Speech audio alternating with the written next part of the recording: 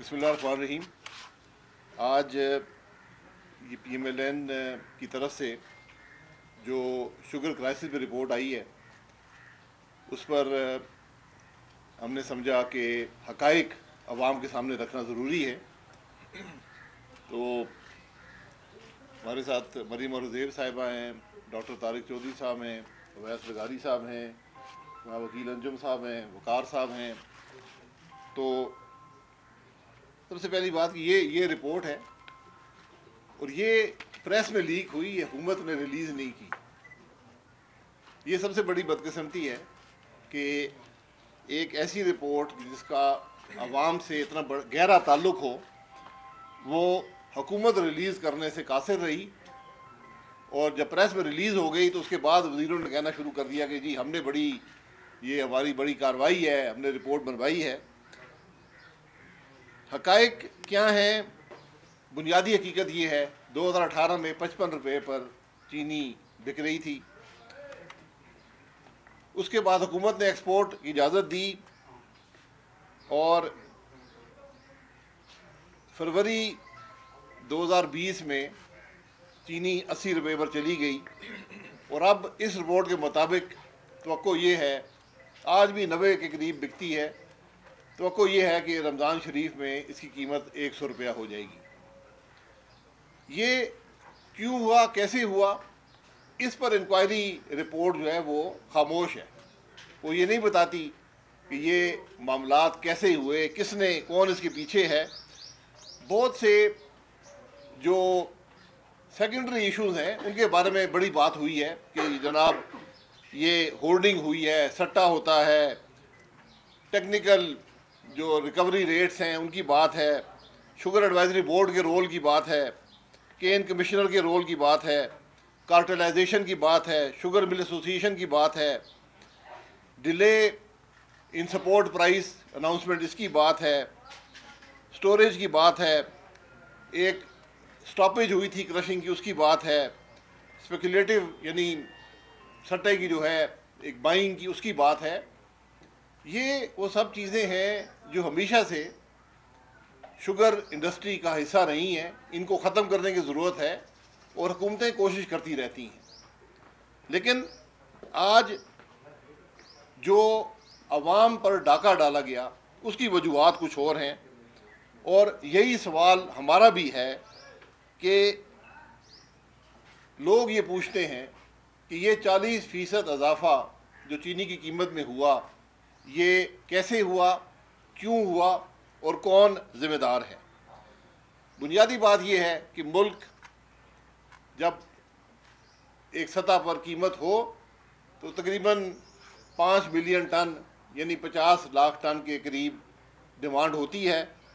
دو ہزار اٹھارہ، انیس میں پانچ اشاریہ تین ملین ٹن یعنی ترپن لاکھ ٹن پاکستان میں پروڈیوس ہوا۔ اور دو ہزار انیس بیس میں یہ پانچ ملین ٹن یعنی پچاس لاکھ ٹن پروڈیوس ہوا۔ اب سوال یہ اٹھتا ہے کہ یہ تو اتنی ہی شوگر ہے جتنی پاکستان کی ضرورت ہے۔ تو ایکسپورٹ کی اجازت کیسے ہوئی؟ کیوں ہوئی؟ اور کس نے دی؟ یہ بنیادی سوال ہے جس پر حقائق ہم عوام کے سامنے رکھنا چاہتے ہیں۔ دو ہزار اٹھارہ میں منسٹری آف فوڈ سیکورٹی نے کہا کہ جناب ایکسپورٹ کی اجازت مت دیں۔ ای سی سی میں کہا، کیونکہ یہ مسائل اکنامک کمیٹیز اور کیبنٹ میں جاتے ہیں۔ ای سی سی نے کہا منسٹری آف فوڈ سیکورٹی میں انہوں نے کہا کہ ایکسپورٹ کی اجازت مت دیں۔ دو ہزار اٹھارہ انیس میں پروڈکشن منسٹری نے بھی کہا انڈسٹریل پروڈکشن نے بھی کہا کہ ایکسپورٹ کی اجازت مت دیں۔ اور دونوں نے ایکسپورٹ کی مخالفت کی۔ لیکن اس کے باوجود اکتوبر دو ہزار اٹھارہ میں ایک ملین ٹن یعنی دس لاکھ ٹن یعنی پاکستان کی پروڈکشن کا بیس فیصد کی اجازت ایکسپورٹ کی دے دی گئی۔ اور پھر اس کے بعد دسمبر انیس میں جب کرائسس آسمان پر پہنچ گیا تھا، قیمتیں چالیس فیصد بڑھ چکی تھیں شارٹیج تھی، اس وقت ایک اضافی ایک لاکھ ٹن کی اجازت دی گئی۔ یہ سب کیسے ہوا؟ اور یہ اس رپورٹ میں بھی لکھا ہے اور یہ بنیادی حقیقت ہے کہ جیسے ہی ایکسپورٹس کی اجازت دی گئی، چینی کی قیمت بڑھنا شروع ہو گئی۔ یہ بنیادی سپلائی ڈیمانڈ کے اصول ہے۔ جب ڈیمانڈ زیادہ ہوگی، سپلائی کم ہوگی، قیمت بڑھ جاتی ہے۔ اس میں آپ حقائق دیکھیں۔ شارٹیج شروع ہو گئی، قیمتیں بڑھنا شروع ہو گئیں۔ حکومت نے کوئی قدم نہیں لیا۔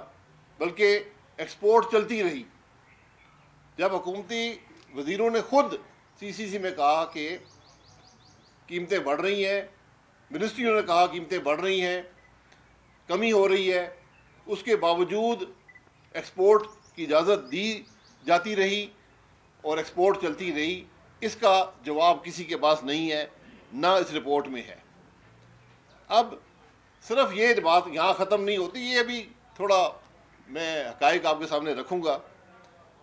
پنجاب حکومت نے تین صوبوں سے ایکسپورٹ ہوتی ہے شوگر سندھ، پنجاب کے پی پنجاب حکومت نے ساڑھے پانچ روپیہ پر کلو کی سبسڈی اور ایک روپے کا ان لینڈ فریٹ بھی دینا شروع کر دیا۔ حالانکہ اس کی کوئی ضرورت نہیں تھی، نہ سندھ نے دیا، نہ کے پی نے دیا۔ صرف پنجاب نے تقریباً تین ارب روپے کی رقم جو ہے وہ سبسڈی میں ادا کی ان ملوں کو۔ اس کی کیا وجہ ہے؟ اس کے بارے میں یہ رپورٹ خاموش ہے۔ پنجاب کے چیف منسٹر بزدار صاحب کیا کر رہے تھے؟ یہ رپورٹ اس پر خاموش ہے۔ اب وفاقی حکومت جو ہے، ہمارے دور میں بھی سبسڈی دی گئی۔ اس کی ضرورت تھی، میں بعد میں ذکر کروں گا۔ لیکن ہم نے ایک قید لگا دی تھی صوبائی حکومتوں پر کہ اس کے بعد آپ کو سبسڈی نہیں دی جائے گی۔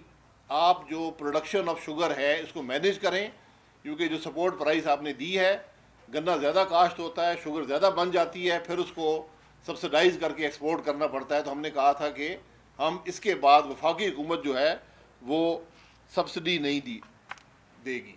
اور آج حقیقت یہ ہے کہ پاکستان سے ایکسپورٹ کو کسی سبسڈی کی ضرورت نہیں ہے، کیونکہ روپیہ اتنا ڈی ویلیو ہو گیا ہے، تقریباً چالیس فیصد ڈی ویلیو ہو گیا ہے، تو آج انٹرنیشنل پرائز جب کم بھی ہوتی ہے، جو ڈالروں میں آپ کو قیمت ملتی ہے، وہ آپ کی جو پروڈکشن کی کاسٹ اس کو پورا کر لیتی ہے، اور پاکستان سے ایکسپورٹ کے لیے کوئی سبسڈی کی ضرورت نہیں ہے۔ اس کے باوجود پنجاب حکومت جو ہے اس نے تین ارب کی سبسڈی دی۔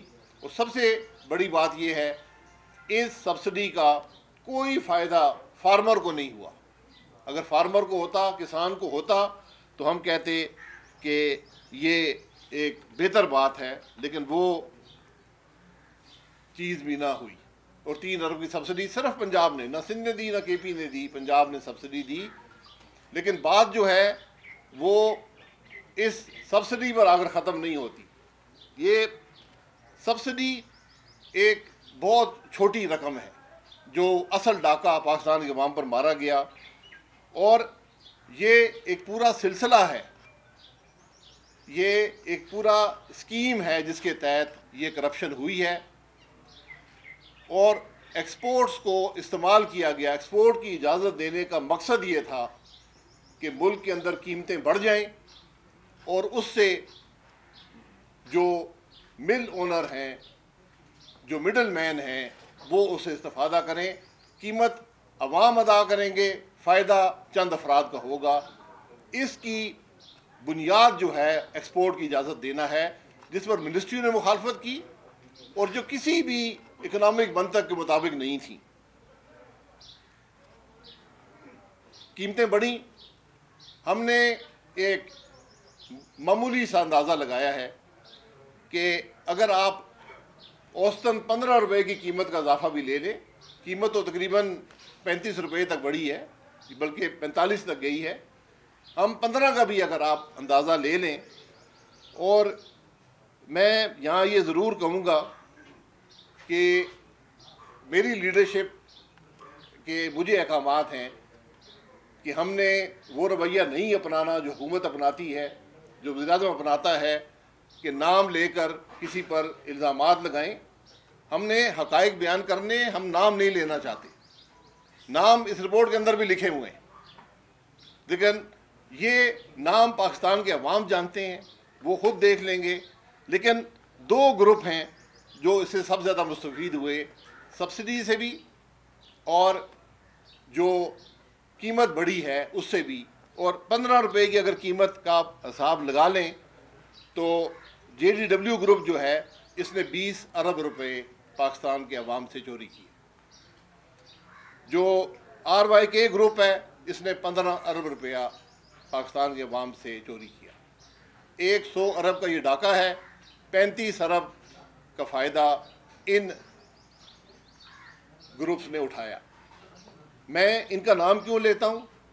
اس لیے کہ ان گروپس کے مالکان جو ہیں، وہ حکومت میں کیبنٹ کے ٹیبل پر بیٹھتے ہیں۔ انڈسٹری کو جو فائدہ ہوا، وہ ہوا۔ ہمیں اس سے کوئی غرض نہیں ہے۔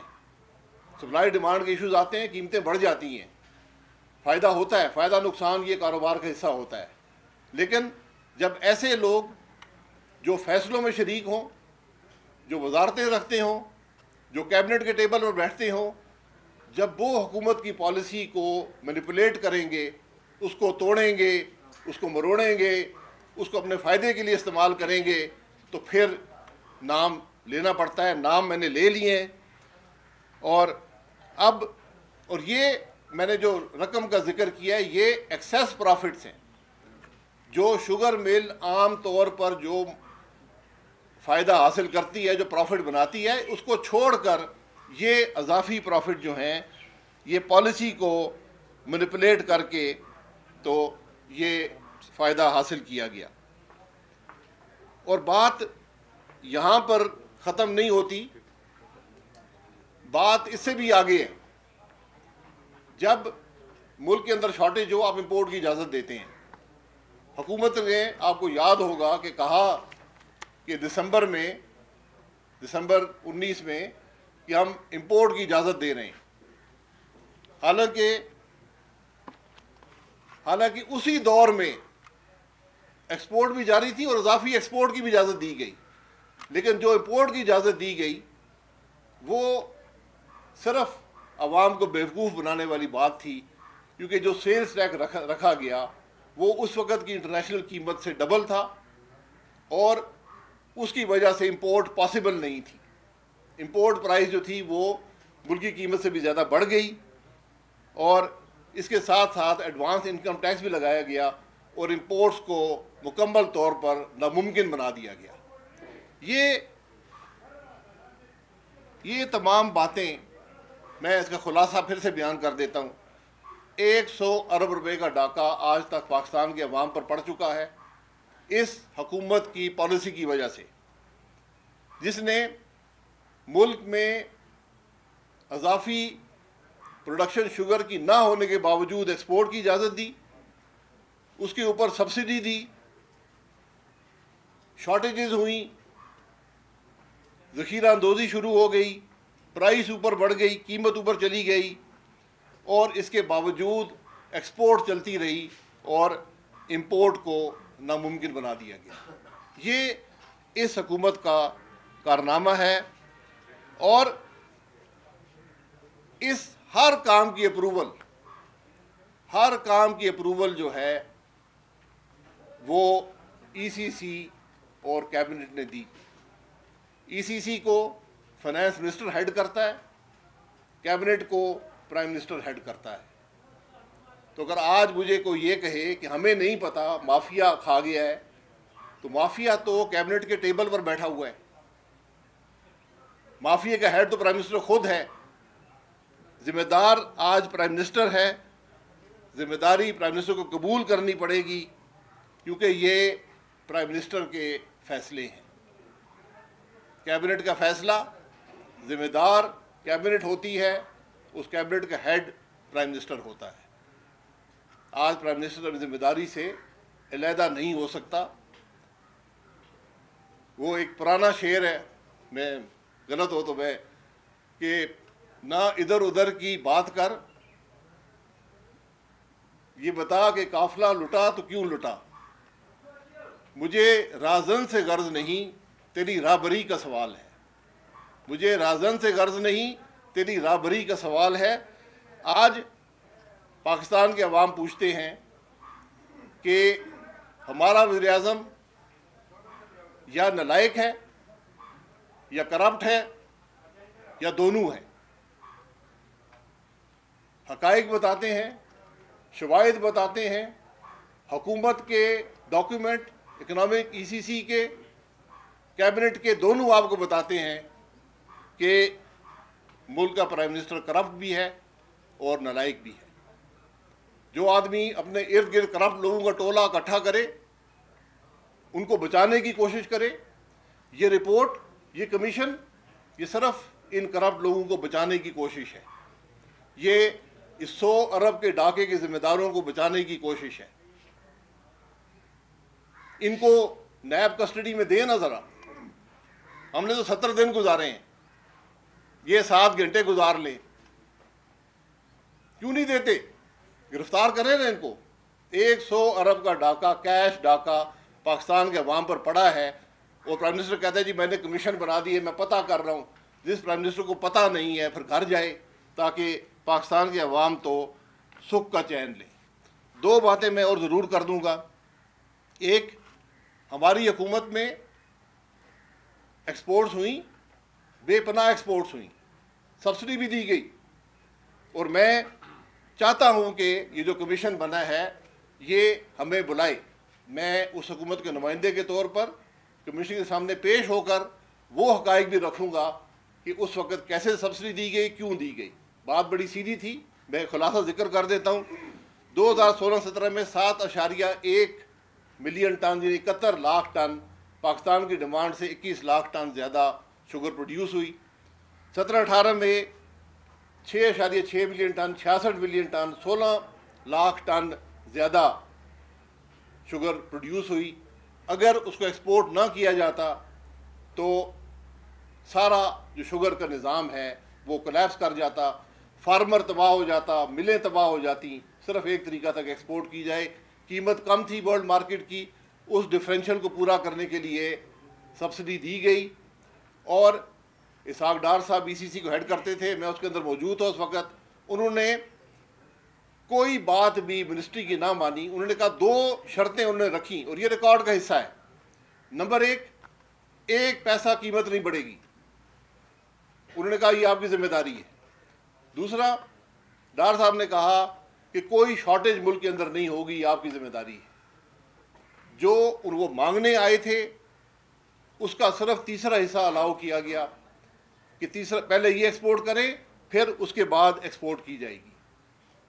اور جو سبسڈی مانگی گئی تھی، اس کی آدھی سبسڈی دی گئی۔ اور اس آدھی سبسڈی کا آدھا بھی جو ہے، وہ صوبائی حکومتوں پر ڈالا گیا۔ اور اس کے بعد بعد یہ فیصلہ کیا گیا کہ اس کے بعد وفاقی حکومت ذمہ دار نہیں ہوگی، یہ صوبائی حکومتیں ہی اپنی پالیسیز بنائیں۔ اور اگر ایکسپورٹ کرنی پڑی پروڈکشن زیادہ ہو، یہ ان کی ذمہ داری ہے، اپنے پیسے سے سبسڈی دے کر ایکسپورٹ کریں وفاقی حکومت نہیں کرے گی۔ ایک آخری چیز میں ضرور ذکر کر دوں کہ اس رپورٹ میں بھی اور اس کے بعد ایک سپلیمنٹری رپورٹ بنی، اس کے اندر یہ تاثر دینے کی کوشش کی گئی کہ شاید نواز شریف اور شہباز شریف صاحب کا کوئی تعلق ان ایکسپورٹ سے ہے انہوں نے کوئی فائدہ اٹھایا ہے۔ تین ملے ہیں شہباز شریف صاحب اور نواز شریف صاحب کی، رمضان شوگر مل العربیہ شوگر مل اور Chaudhry sugar mill. Chaudhry sugar mill بند ہے پچھلے تین سال سے اور اس حکومت کے دوران کوئی سبسڈی رمضان شوگر مل یا العربیہ شوگر مل نے حاصل نہیں کی۔ یہ میں صرف اس لیے ذکر کر رہا ہوں کہ یہاں پر اس رپورٹ میں تاثر دینا، یہ رپورٹیں بھی ساری ملی بھگت ہیں۔ یہ صرف ان چوروں کو بچانے کا طریقہ ہے۔ اب کمیشن بن گیا ہے۔ اس کمیشن کے سربراہ بھی وہی شخص ہیں جس نے رپورٹ لکھی ہے۔ وہی دو ممبر بھی ہیں جو اس کمیٹی کا حصہ تھے۔ تو کمیشن سے آپ کو کیا حاصل ہوگا جو یہ کمیٹی نہیں کر سکتی؟ ہر مسئلے کے آخر میں لکھا گیا جی فرنسک آڈٹ کی ضرورت ہے۔ فرنسک آڈٹ کا یہاں مقصد کیا ہے؟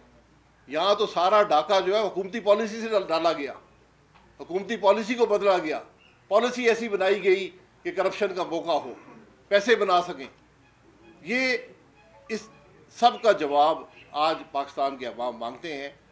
اور ہم انشاءاللہ اس مسئلے کو چھوڑیں گے نہیں، اس کو منطقی انجام تک پہنچائیں گے۔ اور یہ حکومتی کرپشن یہاں ختم نہیں ہوئی۔ جو آج وزارت شپنگ میں ہو رہا ہے پورٹس اینڈ شپنگ میں ہو رہا ہے، سارا پاکستان جانتا ہے۔ جو پیٹرولیم میں ہو رہا ہے، سارا پاکستان جانتا ہے۔ جو پاور میں ہو رہا ہے، سارا پاکستان جانتا ہے۔ جو فائنینس میں ہو رہا ہے، سارا پاکستان جانتا ہے۔ یہ کرپشن پاکستان اس کا متحمل نہیں ہو سکتا۔ آج جو ملک کے معاشی حالات ہیں، جو آنے والا وقت ہے، یہ بڑا ایک خوفناک وقت ہے، ایک غیر معمولی وقت ہے۔ ہم نہیں سمجھتے کہ یہ حکومت اس وقت پاکستان کو ڈائریکشن دے سکتی ہے۔ جو حکومت چینی مینج نہ کر سکے اور ملی بھگت سے کرپشن کے ذریعے عوام پر ایک سو ارب کا ڈاکہ ڈالے، اس کو رہنے کا حق نہیں ہے۔ بہت شکریہ۔